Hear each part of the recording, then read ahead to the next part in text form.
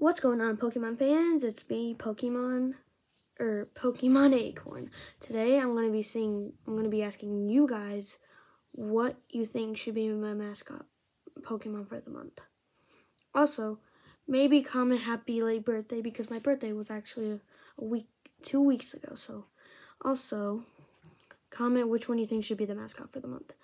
First off, we got Toxtricity V Max. Again, please subscribe if you wanna. I don't care if you want to subscribe, just do it. Um, next we have the Eevee V Max. All right, vote in the comments if you want to. Next we got the Rillaboom V Max, another one to vote for.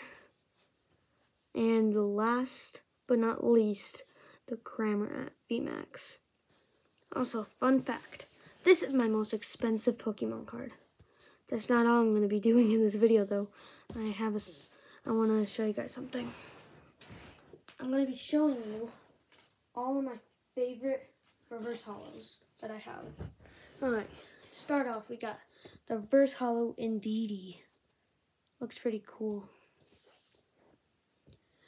Next off, like my third favorite one, the Arrokuda reverse holo Arrokuda.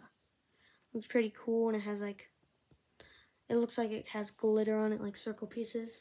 Next, we got the very, very cute and detailed reverse holo Charmander. I gotta focus my screen. Alright. Alright, next, we got the reverse holo super cute Pikachu. Also, remember to comment which one you think should be my mascot for the month and comment what Pokemon Reverse Holo you think is your favorite.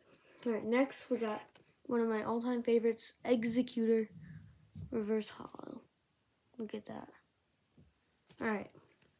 Well, last but not least, this is probably a fake Pokemon card. Um, I got it from the Detective Pikachu movie, but Reverse Holo Detective Pikachu. Alright, thank you for watching this video, and I'll be posting tomorrow. Bye, guys.